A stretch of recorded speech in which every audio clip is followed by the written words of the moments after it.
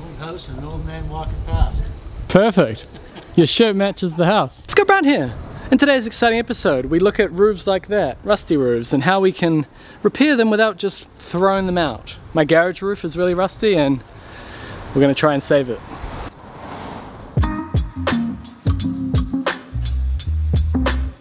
Sun is shining. Welcome to another exciting episode. Let's pull this roof off again, shall we?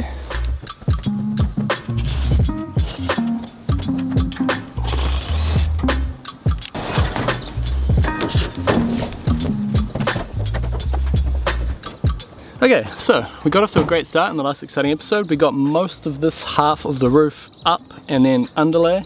And this scaffold that this camera is sitting on right now was set up by Gaston and myself.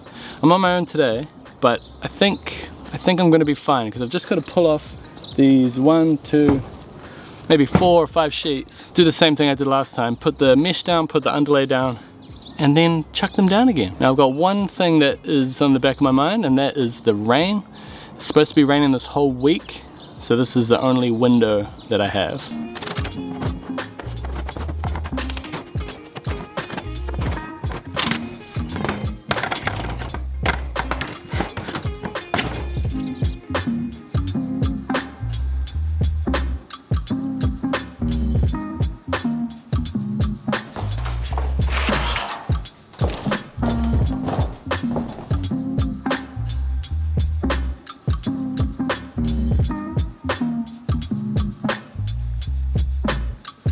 The main thing is get rid of this paper, continue that mesh, and get the underlay down and the roof back on as well. And then we can look at treating this rust. I've got this stuff called rust converter.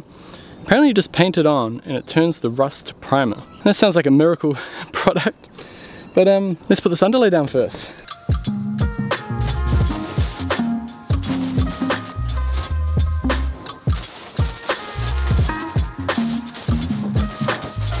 Now I have considered putting a skylight in here. How much nicer would that be, right? But believe it or not, it's actually an issue when I'm filming videos. I'm gonna film a lot of videos in here, and if I have a light that big behind me, well, the camera needs to adjust like that in order to get me in the shot, and then everything behind me is all blowing out like that. I already have this challenge with the windows behind me, and that's why I often film in this direction. So the windows are going like that, and then see I've got the black behind me and everything's, you can see everything. So unfortunately, we need to put a roof on here. And because I'm cheap, we're gonna put the same roof back on.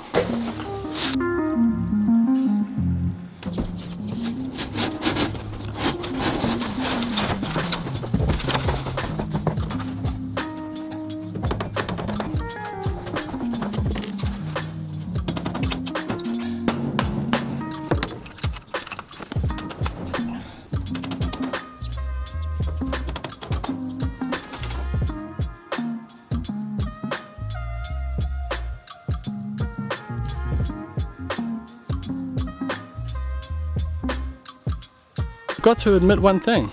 A lot of people said in the last video which way you should put your paper, your building underlay. They should say you should do it not vertical the way I've done it, but horizontal, the opposite direction of the roofing iron. And I agree, you should. That's a lot better.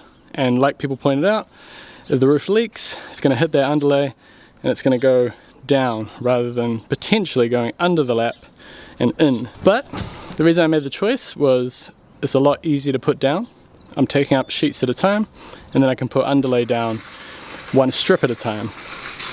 If I went across the way I would have to take the whole roof side off and then go end to end and put the whole roof down. If there's a bunch of us working on this together then yeah we could totally do that but this is my house I'm working on it by myself so I'm not going to do that. Having said all that down here where the roof gets flat definitely have to go horizontal on that one. I'm getting away with it up here because the roof is on an angle. So the chances of the water tracking in and going sideways are less.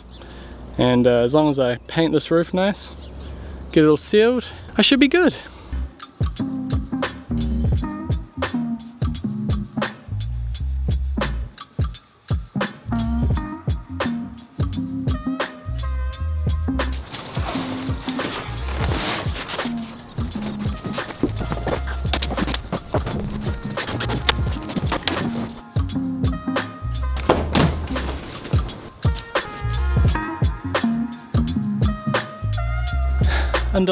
Underlay, underlay, underlay, underlay, on.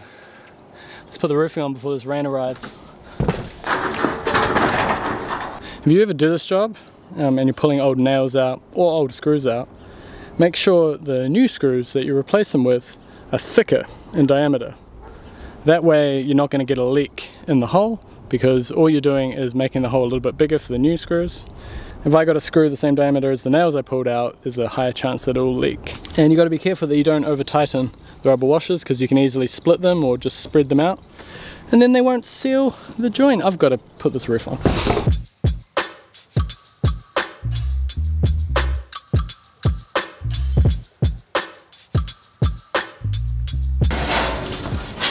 Last sheet, Mike. Last sheet. Not bad, eh?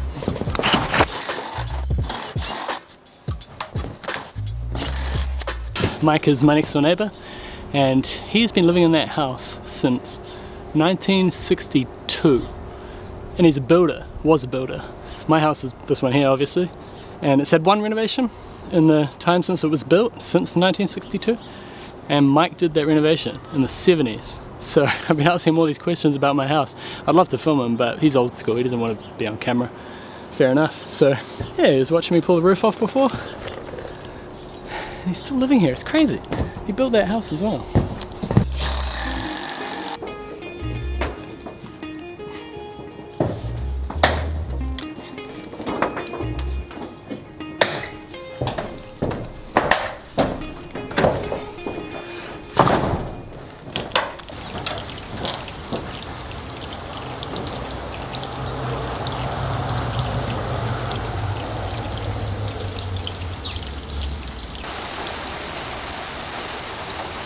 Well, so far,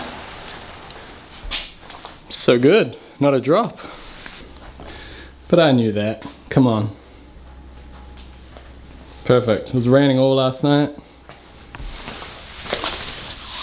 That is dry. Just a stain. I have a feeling a mechanic used to own this place. We just got the other half to do now. But I need to make a flashing first. Or get a flashing made.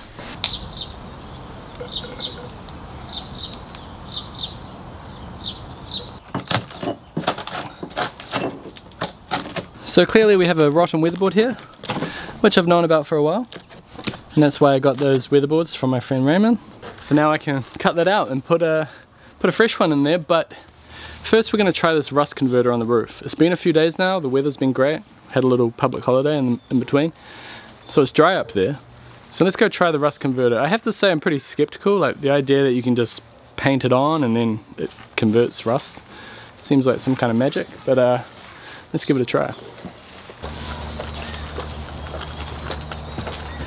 Apply to any lightly rusted or correctly prepared metal surface to neutralize rust and convert it to a tough primer in one easy step. This isn't an ad, I bought this rust converter, so if it sucks, I'll let you know. Let's try it out. Child proof. There we go.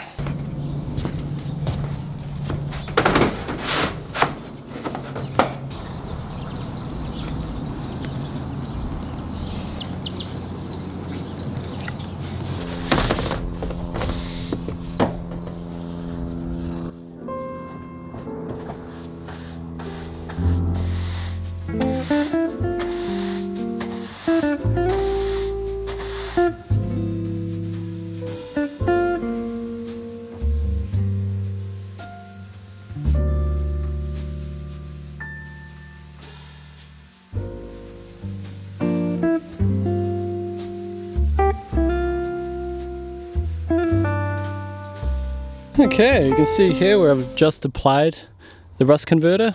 It's got a kind of bluish tint to it. And then here is one of the areas where I first applied it and you can see it's gone all clear. And it almost looks as if we've cleaned it with this rust converter. But I can still see rust. So it's interesting. Up here, that's dried off a bit as well. And then over here, the rust has gotten darker. So interesting stuff. You know what else is interesting? What's that? Using Squarespace to build your website.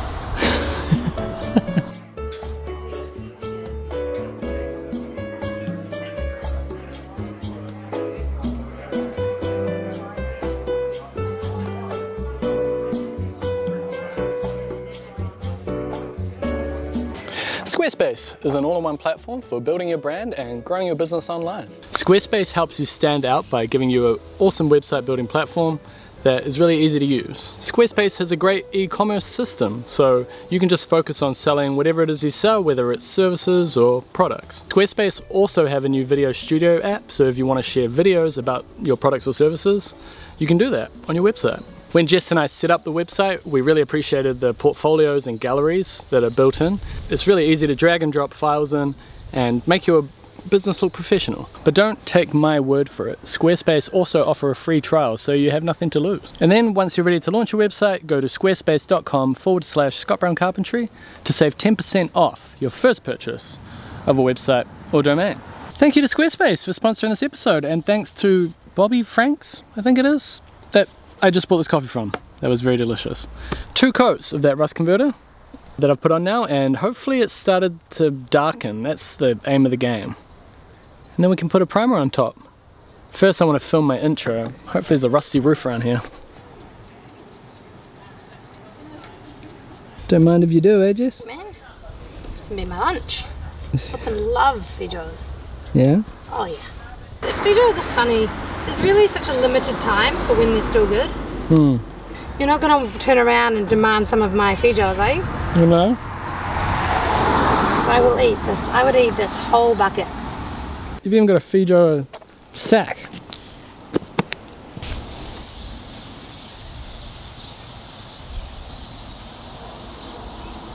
Alright, after 24 hours since the second coat of rust converter, after a haircut, after an application of sunblock, let's see just how good the rust converter did.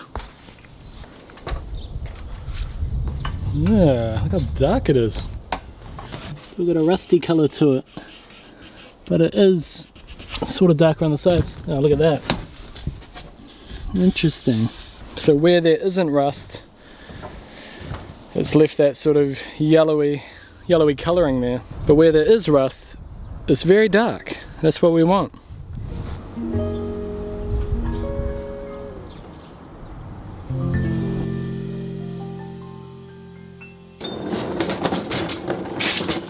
Alright, so I had to look on Wikipedia how that rust converter works, and this is what it says.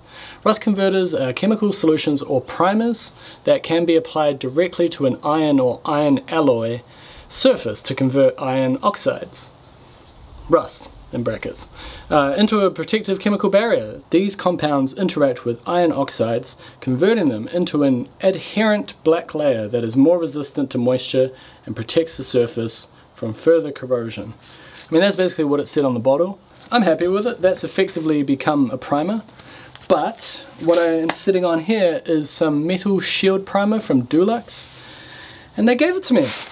So Dulux kindly hooked us up with this paint. Um, they didn't pay me or anything, but they gave me this paint for free.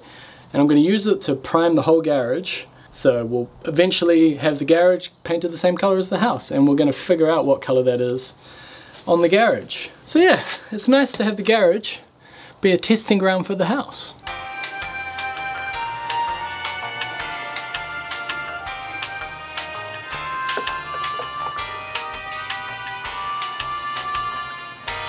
Oh, much tidier than I thought.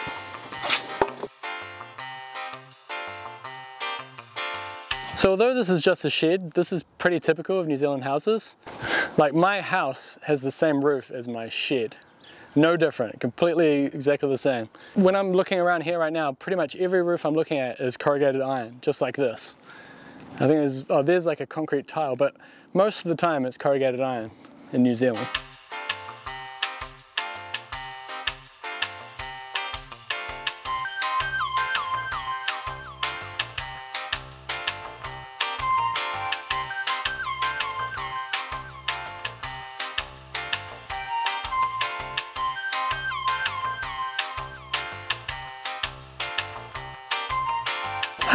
So there we go. Rust converter is kind of like a primer.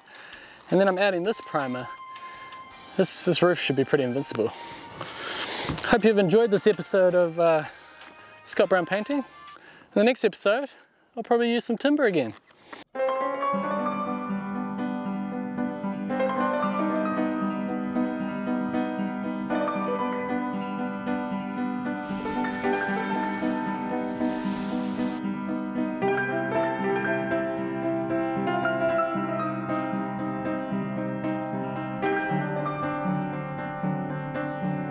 Doing a great job, Jess. Oh, Thanks, babe. You're doing a great job.